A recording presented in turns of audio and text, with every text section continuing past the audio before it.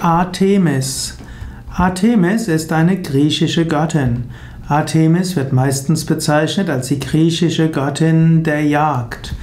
Artemis ist aber auch die griechische Göttin der Natur und sie steht auch für die Schönheit der Schöpfung.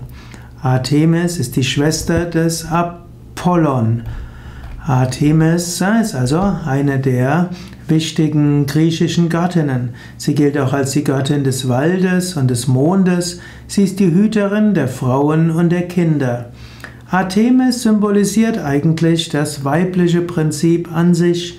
Darstellungen von Artemis waren wahrscheinlich auch Grundlagen für die Darstellung von Maria.